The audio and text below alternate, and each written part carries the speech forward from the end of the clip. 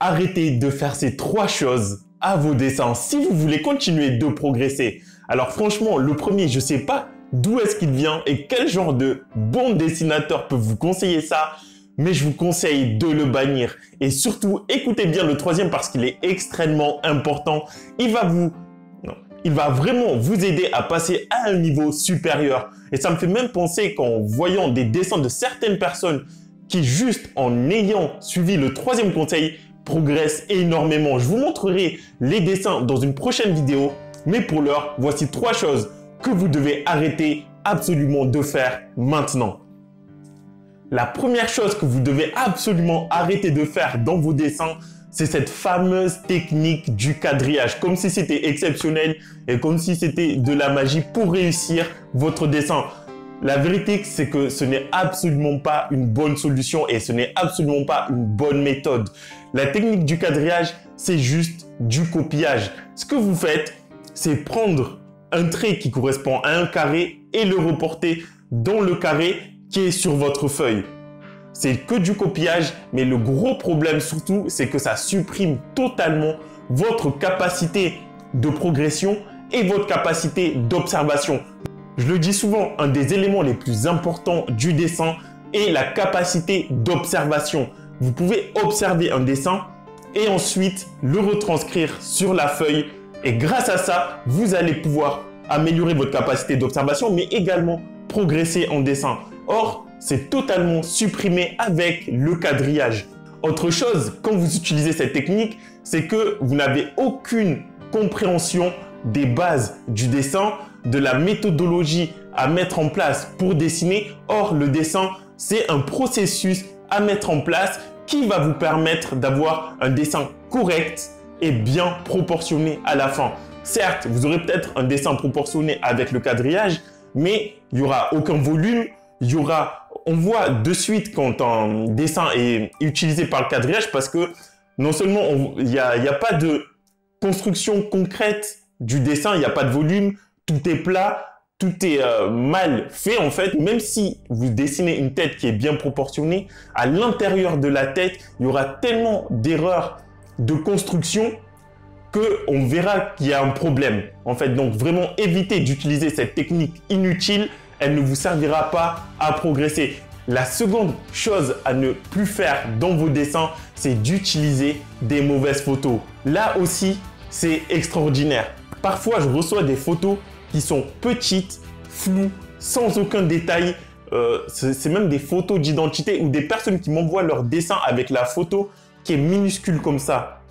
Alors, je ne sais pas comment vous faites pour espérer avoir un bon dessin en utilisant une photo qui soit de mauvaise qualité, floue, où il n'y a aucun contraste, c'est mal éclairé, c'est mal, c'est ou c'est trop éclairé ou c'est pas assez éclairé, tout est plat, la photo est floue, il n'y a aucun détail et d'après cette photo là, vous voulez faire un dessin réaliste ou ajouter des détails. Et même quand on me fait une commande et que la personne m'envoie une photo prise par un téléphone qui date d'il y a 10 ans et que la photo est complètement floue et qu'on voit pratiquement rien, alors j'ai rien contre les téléphones qui datent d'il y a 10 ans, mais faites quand même un effort et utilisez une photo de bonne qualité. Vous remarquerez que quand on fait les concours ou quand je vous partage des photos, elles sont toujours grandes, bien éclairées, contrastées, détaillées et de très très bonne qualité la, qualité de la photo va se faire ressentir également sur le résultat final du dessin. Donc faites très attention à la qualité de la photo que vous allez utiliser. Et la troisième chose à absolument bannir de vos dessins, là c'est très important, c'est le fait de fuir les conseils des gens qui sont meilleurs que vous. Pour ça, j'ai une petite anecdote. Quand j'étais à Emile Cole, il y avait un mec, on, était dans la même promotion, pas dans la même classe, mais dans la même promo, qui au début faisait partie des meilleures personnes, euh, des meilleurs dessinateurs en fait. Et ce qui s'est passé, lui, son problème, c'est qu'il aimait tellement écouter les louanges des gens qui étaient moins bons que lui et qui passaient leur temps à lui dire euh, T'es tellement bon, waouh, c'est génial ce que tu fais, blablabli, blablabla. Bref, et il supportait absolument pas les critiques, même constructives, des gens qui étaient meilleurs que lui. Donc, il n'écoutait absolument pas les conseils, que ce soit des gens plus âgés ou qui étaient meilleurs que lui et des profs. Lui, ce qu'il voulait, c'est qu'on lui dise qu'il était bon et euh, à quel point ses, dessins étaient merveilleux. Alors, je nie pas le contraire, il était bon, mais ce qui s'est passé, c'est qu'au fur et à mesure, à force d'écouter seulement les louanges et de ne pas écouter les critiques constructives, il a stagné et nous, on a fini par le surpasser ou atteindre son niveau. Et au bout d'un moment, bah, il n'avait plus les notes qu'il aurait dû avoir et il n'était plus aussi bon que ça, finalement. Et euh, bon, ça n'arrive pas pour tout le monde, mais lui, comme il supportait pas les critiques, eh bien, à chaque fois qu'il avait une mauvaise note ou une critique, même constructive, eh bien, il se mettait à pleurer comme un bébé qui a faim et qui réclame sa nourriture. Bref, et quand je dis qu'il pleurait, il pleurait réellement avec des larmes. J'ai rien contre ça, hein. j'ai rien contre lui en personne.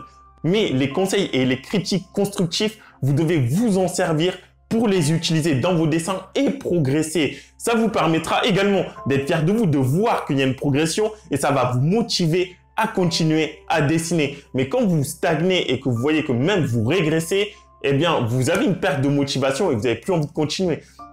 Donc, c'est important vraiment d'utiliser des critiques constructives. C'est pour ça qu'il y a le groupe WhatsApp, c'est pour ça qu'il y a euh, YouTube que je vous fais toutes ces vidéos, c'est pour ça qu'il y a aussi les concours que tout est mis en place pour vous faire progresser. Donc n'hésitez pas vraiment à utiliser tous les conseils qu'on vous donne. Prenez-les comme de bons conseils et utilisez-les dans vos dessins. Ne faites pas comme ce mec qui était bon au début et qui n'a absolument pas écouté les avis et conseils constructifs et qui a fini par devenir mauvais et ou un simple dessinateur parmi tant d'autres. Mais écoutez les critiques, utilisez-les pour progresser. Voilà, j'aurais pu vous en dire davantage, mais dites-moi d'ailleurs dans les commentaires si vous voulez une liste supplémentaire de choses à supprimer dans vos dessins. Mais bien sûr, il y a une solution à tout problème. Et pour vous guider et vous aider à appliquer les bonnes méthodes dans vos dessins, j'ai décidé de vous offrir un accès total à toutes mes formations de dessin. C'est pas juste un ensemble de cours faits au hasard parce que tout est parfaitement bien structuré comme dans une série de films qui se suivent. Souvenez-vous de l'excellente trilogie Le Seigneur des Anneaux qui raconte l'histoire d'un hobbit, Frodon Sake, et des autres membres de la communauté de l'anneau qui s'engagent dans une quête pour détruire l'anneau unique et provoquer la chute de son créateur, Sauron. Et comme tout se finit bien, évidemment, à la fin, ils finissent par remporter la guerre de l'anneau. Mais aussi de la trilogie Le Hobbit, dont le projet s'inscrit dans la continuité de l'adaptation du Seigneur des Anneaux et dont l'histoire se déroule 60 ans avant le Seigneur des Anneaux. Je vous conseille réellement de le voir. C'est une histoire extraordinaire en six films, exactement comme le Megapack, une série de six formations qui se suivent parfaitement les unes des autres, dans lesquelles vous allez apprendre toutes les notions du dessin pour progresser de la bonne façon. Vous ne verrez certainement pas des techniques bancales comme le quadrillage, pas de photos de mauvaise qualité, mais surtout que des bons conseils. Ici, la bonne méthode et la bonne technique permettent immédiatement de faire un bon dessin. En fait, le souci vient souvent du fait que vous ne savez pas qu'il y a un plan. Et ça peut être assez chiant de voir que malgré tous les dessins qu'on fait, il n'y a pas de progression. Mais en appliquant ces règles, on verra tout de suite que votre dessin est différent des autres, mais surtout d'une bien meilleure qualité. Bon, évidemment, pour faire un dessin ultra réaliste, il faut une technique avancée, mais vous les apprendrez dans ces programmes. Mais en plus, tout ce que je vous apprends dans ces formations, vous pourrez les utiliser dans vos propres dessins. Vous aurez juste à adapter la technique à votre dessin sans aucune difficulté et à obtenir un dessin d'une excellence supérieure. Ces techniques sont simples, mais surtout extrêmement efficaces. Concrètement, qu'est-ce que vous allez trouver dans le Mega Pack Ce sont six formations dans lesquelles je vous donne tout ce qu'il y a à savoir pour faire un bon dessin. J'apprends à dessiner en perspective, j'apprends à dessiner le portrait, j'apprends à dessiner le corps humain, j'apprends à dessiner les valeurs, la chantilly sur le gâteau avec l'anatomie artistique et pour finir, on va mettre la cerise sur le gâteau avec la formation J'apprends à dessiner au fusain. Tous ces programmes sont parfaitement structurés en différents modules où vous apprendrez un élément spécifique du dessin et qui vous permettront de progresser toujours plus. à la fin de la formation, vous aurez toutes les connaissances pour dessiner absolument tout ce que vous voulez. Que ce soit une nature morte, un paysage, un portrait, le corps humain ou l'anatomie d'une qualité exceptionnelle. Je vous offre là toutes les connaissances que j'ai pu acquérir ces dix dernières années et qui vous permettront à vous de pouvoir faire des dessins réalistes. Combien coûte ce méga pack Là aussi, j'ai décidé de vous faire une super offre puisque grâce au nouveau système d'abonnement que je viens de mettre en place, vous allez pouvoir accéder à toutes les formations pour seulement 37 euros par mois et tous les avantages et bonus qui vont avec. Les mises à jour gratuites, un accès au groupe WhatsApp VIP dans lequel vous allez pouvoir discuter, partager des dessins pour avoir un avis concret et constructif qui vous permettront d'évoluer encore et toujours plus, mais également des visioconférences dans lesquelles je corrigerai vos dessins. Mais c'est pas tout, puisque vous pouvez avoir bien plus d'avantages avec l'abonnement premium à 57 euros par mois, avec un accès à toutes les nouvelles formations et vous aurez 50% de réduction sur tous les stages de dessin. Et j'ajouterai même davantage, puisque dans la formule VIP à 87 euros par mois, en plus des avantages que j'ai formulés avant, là vous aurez un suivi personnalisé et des cours spéciaux pour seulement 37 euros ce qui est vraiment ridicule puisque c'est même pas le prix d'un café par jour pendant 30 jours et de 10 kebabs. Vous aurez l'ensemble des meilleures formations de dessin pour un prix beaucoup moins élevé que dans un atelier d'art dans lequel vous auriez payé bien plus cher pour un seul cours. Mais en plus, vous avez aucune contrainte puisque avec les formations en ligne, vous avez là la liberté de dessiner quand vous voulez vous pouvez là fixer votre propre emploi du temps pour profiter et passer autant de bons moments que vous voulez à dessiner. Et comme si ce n'était pas suffisant, je vous offre 7, jours d'essai totalement gratuit pour tester les formations. Et si au bout des 7 jours, vous n'êtes pas satisfait, vous avez juste à vous désabonner et vous ne paierez absolument rien. Et pour accéder aux formations, cliquez sur le lien qui se trouve juste en dessous de la vidéo entrez vos coordonnées et vous recevrez un accès immédiat à tous les programmes. À ce stade, vous avez trois options. La première, ne rien faire. Même si vous avez regardé toutes mes vidéos sur YouTube et que vous savez qu'il manque des choses pour progresser, vous choisissez de ne rien faire et donc de ne pas progresser.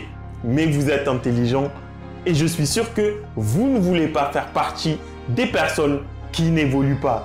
La deuxième option, et de vous former de votre côté. Ça ressemble à une bonne idée, mais en fait, ce n'est pas une bonne solution. Comment vous allez faire pour savoir quelle information est la bonne ou pas? Quelles sont les techniques les plus efficaces et les plus rapides pour progresser et être fier de ce que vous faites? Le dessin, ça ne s'apprend pas au hasard. Vous pouvez bien sûr essayer des techniques ou même regarder mes vidéos, mais ça vous prendra énormément de temps pour trouver un système qui va vous apporter un résultat concret. Ou alors la troisième option, vous suivez un système simple et pratique, le plus rapide et le moins risqué en appliquant ce que je vous apprends. Vous aurez là un plan concret qui vous donne de vrais résultats et en quelques jours, vous verrez déjà de vos propres yeux le progrès. Voilà un plan simple et concret mais surtout qui donne de vrais résultats que même vos proches seront étonnés de voir une telle progression. Maintenant, vous êtes libre de décider, mais ne tardez pas à profiter de 7 jours gratuitement de l'ensemble des formations. Cliquez sur le lien sous la vidéo et on se retrouve de l'autre côté pour continuer à progresser. À tout de suite.